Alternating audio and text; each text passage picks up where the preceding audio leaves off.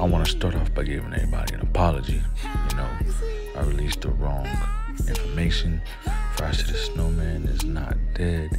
He is alive, you know, and um, I had the wrong information. As you guys can see, you know, make it cheesy. Beezy is out. So man, let's uh turn that nigga shit upside down, man, for this nigga, man. That's the least we all can do is go support this man's movie because he made it through what we call a deadly situation. Hey man, if y'all rocking with him, go run up his music. And uh man, he made it. That's all we need to know. You know, and right now he's still in the ICU, he's still in the doctors getting his feet massaged by two baddies. Psych they ain't baddies, but they still massaging my nigga legs.